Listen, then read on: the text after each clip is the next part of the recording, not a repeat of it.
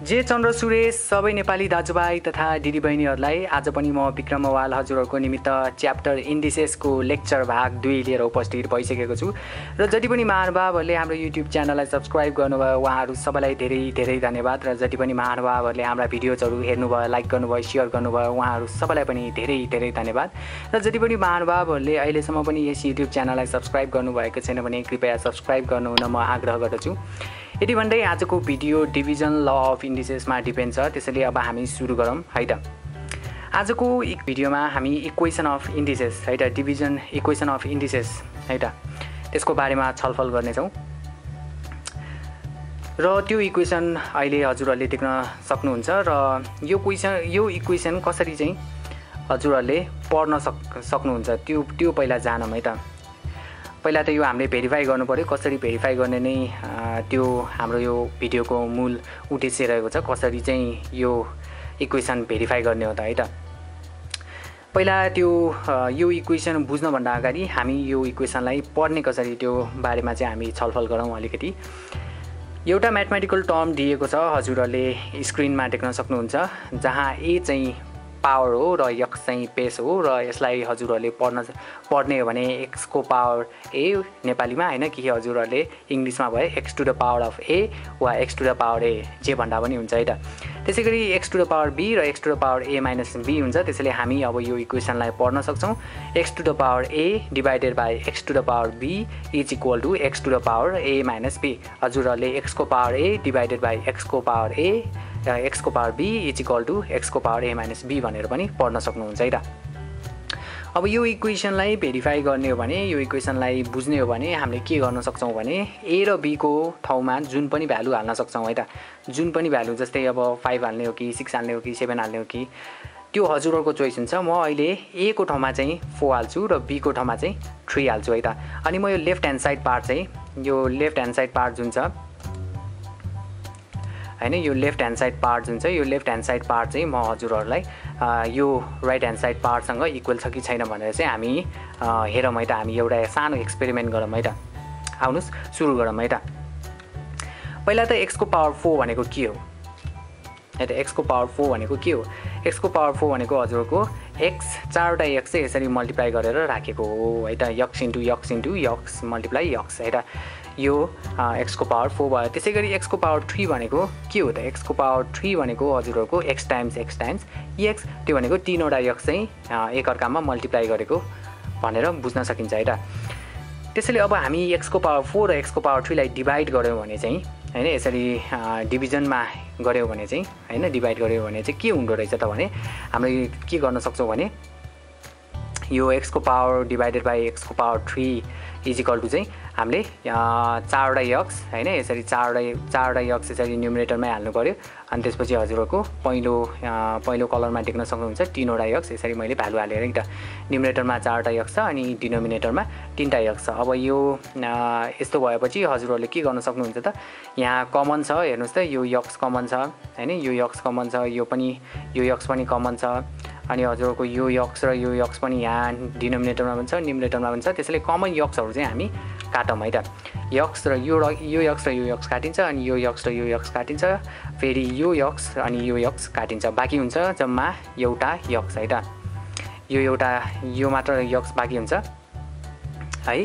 त्यसैले यो यक्स बाँकी भएपछि हाम्रो एक्सको पावर फोर डिभाइडेड बाई एक्सको पावर थ्री भनेको यक्ससँग बराबर हुने रहेछ है। यदि बराबर भइसकेपछि हामीले यही यक्सलाई होइन यही यक्सलाई यहाँ पावर पावर देखिँदैन तर पावर चाहिँ यसको छ भनेर बुझ्नुपर्ने हुन्छ है त। त्यसको पावर वान हुन्छ है त्यो कुरा चाहिँ ध्यानमा राख्नुपर्ने हुन्छ। त्यसको पावर त्यहाँ वान छ भनेर बुझ्नुपर्ने हुन्छ। त्यही वानलाई हामी के कसरी लेख्न सक्छौँ त? त्यही वानलाई हामी फोर माइनस थ्री गरेर पनि लेख्न सक्छौँ है।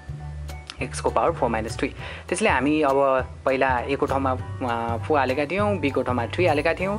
त्यसले हामी त्यो फोर र थ्रीमा फेरि ए र बी भ्यालु ब्याक हाल्ने हो भने हाम्रो के हुँदो रहेछ त? एक्सको पावर ए है यो फोरको ठाउँमा एको ठाउँमा हामीले फोर हालेको थियौँ बीको ठाउँमा थ्री हालेका थियौँ। हेर्नुहोस् त अब एक्सको पावर एक्सको एक्सको ठाउँमा अब फोरको ठाउँमा चाहिँ ए हाल्यौँ थ्रीको ठाउँमा बी हाल्यौँ अनि त्यसपछि हाम्रो यो इक्वेसन कम्पेयर गर्ने हो भने यो हामीले ए हालेको थियो होइन? अनि यो हामीले बी हालेको थियो यो थ्रीलाई चाहिँ यसरी बी हालेको थियो। अब यसलाई यहाँ कम्पेयर गर्ने भने ठ्याक्क मिल्दो रहेछ।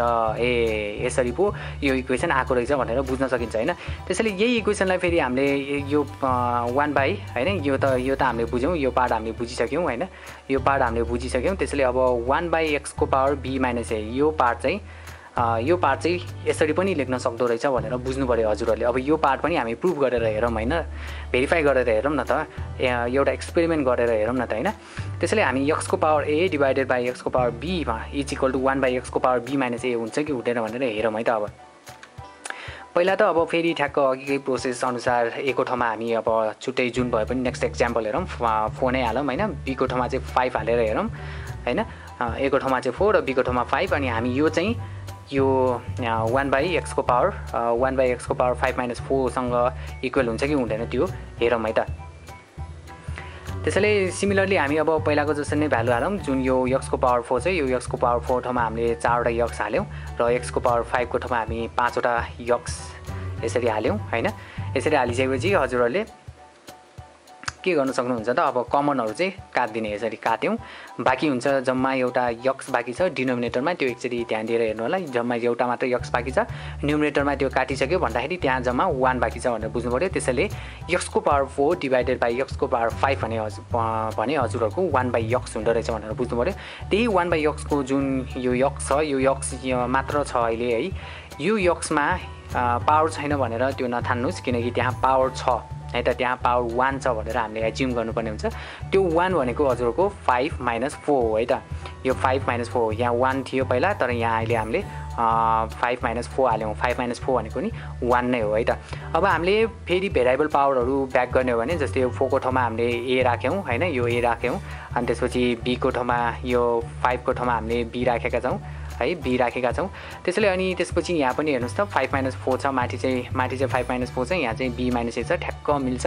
त्यसैले यो पनि भेरिफाई हुँदो रहेछ भनेर हामीले थाहा पाउन सक्छौँ है त?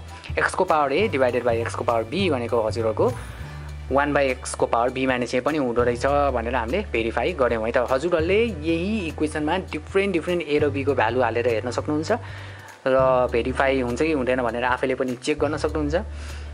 यति हो आजको भिडियो। हजुरहरूलाई यो भिडियो कस्तो लाग्यो? हजुरहरूको फिडब्याक निकै नै महत्त्वपूर्ण छ र हजुरहरूको फिडब्याक अनुसार नै हामी हाम्रो भिडियोमा परिवर्तन ल्याउने प्रयास गर्छौँ। र यस्तै इन्फर्मेटिभ भिडियोजहरू हामी दिनदिनै अपलोड गर्नेछौँ। हजुरहरूले साथीभाइहरूमा सेयर गर्नुहोला है यस भिडियोलाई लाइक गर्नुहोला सकेसम्म। यति भन्दै हजुरहरू सबैलाई नेक्स्ट भिडियोमा भेट्ने बाचाका साथ म विक्रम बिदा हुन्छु। जे चन्द्र सूर्य।